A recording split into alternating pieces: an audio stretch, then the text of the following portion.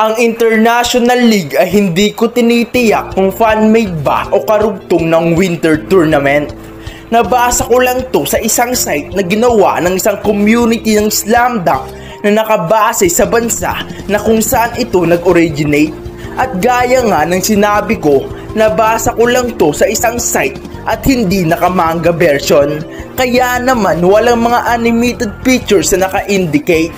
By the way mga idol, pasok ko lang muna intro ko. Come on, come on. Don't gotta work, I be living like a boss do. I got a bottle in my hand when I walk through. Don't care what y'all do, rolling with a small crew. Show you how to win, we can show you how to floss too. If it don't make dollars, don't make sense. Yo mga idol, nga pala, baka malito kayo kung bakit merong nakahalong ibang anime dyan. Di ba gaya ng sinabi ko, hindi nakamanga version ang kwentong ito, kaya walang mga anime pictures na naka-indicate. Ngunit merong mga character description naman na nakalaad sa site, naggaya ng nasa screen. Kaya naman nag-adapt na lang ako ng ibang mga anime pictures na malapit sa character description ng bawat character sa kwento ng International League. Ngunit ang skills, mindset, ang laro ng bawat isa ay nakabase pa rin sa kwento ng International League. Yan malinaw na mga The International League Chapter 584 Mabalik lang tayo sa nakaraang bahagi. Dito nga ya, isang tres nga ang pinakawalan nitong si Kai Derokawa at dito napapito ang referee. Pasimpleng tinulak ni Kai Derokawa ang tagliran nitong si Jack Sakuragi at isang step back. Ngunit dito'y bakit napapito ang referee nakita niya kaya ang pasimpleng tulak nito nga ni Kai Derokawa. Wika nitong si Coach Ansay at dito nga ay offensive foul para kay Kai Derokawa. Halatang halata extend ang kanyang tulak. Wika nga ng referee dito nga ay nababa. Magaling talaga ang referee ng pinakamataas na liga. Isang pasimpleng tulak at yung flap na ginawa ni Jack Sakuragi ay talagang naging epektibo. Matalas ang mata ng referee to ah. Wika nga nitong si Fujima. Samantalang dito ay ha, pre, Magulang ka rin para maglaro. Ha, buti na lang nakita ng referee yung tulak mo sa akin. At kung hindi, pasok ng dress mo, mapapahiya pa ako. Ha, huwag kang magalala, babawian kita. Wika nga nitong si Konyong Jax at dito nga ay. Oo, pasalamat ka sapagkat nakita ng referee yun. Ngunit aasahan mo sa susunod kitang aatakihin ay malinis na at purong skills na lang. Wika nitong si Rukawa at dito nga ay. Aba, nagkakainitan itong si Jack Sakuragi at itong si Kaidi Rukawa. Naku, delikado. Magiging bakbakan ata to. Sigawan nga ng mga tao kaya naman dito nga ay. Depensa! Depensa! Depensa! Kupunan! Kupunan ng Shuhoku High School! Wika nga ng mga tagahangal at dito nga ay isang switch nga ang naganap. At dito'y hawak-hawak na nga nitong sentro ng kalaban ng bola at dito nga ay minamama at kinakalabaw nga niya itong sa oragit dito ay sa pagkakataon na to hinding hindi ko dadaanin sa gulang. Dadaanin ko nga sa lakas ng katawan at tignan natin kung meron rin akong bubuga kung sa palakasan na ng braso at dibdib ang usapan. Wika nga nitong sa uragi sa kanyang isip ngunit dito nga ay tignan nyo Mukhang tiyachali sa uragi ang kanyang isip. Mas lalong lalo niya ang kanyang pisikal na lakas. Hinding hindi na siya gumugulang at lalong lalo na pero saan na ang kanyang ginagawa? Wika nga nitong si Fujima dito'y tama ka Fujima, lalong lalo na. Ang kanyang pondo ay kanyang inalis. Ito nga ba ang challenge sa kanyang sarili? Wika nitong si Coach Ansay at dito'y Sige, Taxton! Atakihin mo siya ng atakihin!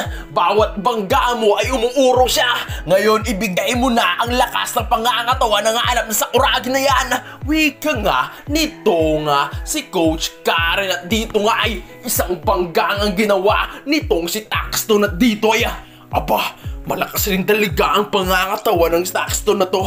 Inaamin ko, kung hindi ko ginagawa ang pondo sa baba at tatas, wala akong laban sa pisikal na lakas.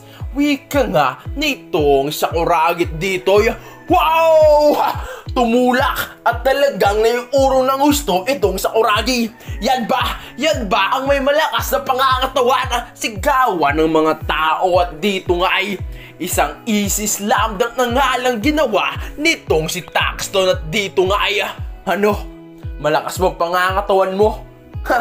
Asan? Asan ang lakas ng pangangatawan na sinasabi mo? Ano? Asan na? Wika nitong si Taxon at dito nga'y. Haba? Huwag na huwag kang magyayabang sapagkat ang sakuraging tinaharap mo sa pestuhang yon ah, ay hindi ang tunay na ako. Wika nga nitong Sanamichi sa kuragit dito ya. Tama ang sinabi ni Sakuragi. Ang kinaharap ni Taxton sa pistuhang yun ay ang hindi tunay na Sakuragi sapagkat ang Sakuraging kilala natin ngayon ay punong-puno ng gulang at talagang napakatibay. Wika nga nitong si Aya ko dito nga Aya. Team, kailangan nating pumuntos kailangan nating bumawi dito. Ibigay, ibigay natin ang hanap nila. Wika nitong si Miyagi dito nga ay. Miyagi, ibigay, ibigay mo sa akin ang bola. At dito ay pagbibigyan ko ang hanap ng taxto na to. Wika nga nitong sa oragit dito nga ay. Taxton, humanda ka! Yanda mo yung pisikal na lakas, baba at sa taas. Bigyan mo siya ng pondo. Malakas ang pangangatawan ng ungang na yan. Wika nga nitong si Sedat dito ay huwag kayong maglala. Natansya ko na siya Nung inatake ko siya kanina ay di naman talaga malakas ang kanyang pangangatawan. Wika nga nitong si Taxton na punong-puno ng kampante ng pagkakuha nga ni Sakuragi ng bola ay isang isa lamang napakalakas na kaldag ang kanyang ginawa. At dito nga ay tumilapon nga ng husto itong si Taxton at dito ay Grabe! Grabe! Nagkamali ako ng impresyon! Sobrang lakas nga pala ang pangangatawa ng may pulang buhok na to. Isang napakalaking, isang napakalaking pagkakamali ang aking nasa isip. Wika nitong si Taxton at Ditoy. Wow! Bawi agad! Tumilapo ng gusto itong si Taxton sa nag-iisang bangga nitong sa Oraki. Grabe! Wika nitong si Mr. Smith at Ditoy. Mr. Smith, Diyan mo na makikita ang pagkakaiba nila sapagkat ang taxto na punong-puno ng pondo sa taas at sa baba ay tumalsik ng todo. Samantalang kanina ang sakuraging walang pondo ay talagang sumasabay pa rin. Na wika nga nitong si Fujimat dito nga ya. Na pangisi nga itong sakuragit nagwika nga. Yun nga ang sinabi ko sa'yo. Ang kinaharap mong sakuragi kanina ay panggap lamang na ako sapagkat hindi ako ganun maglaro sa poste.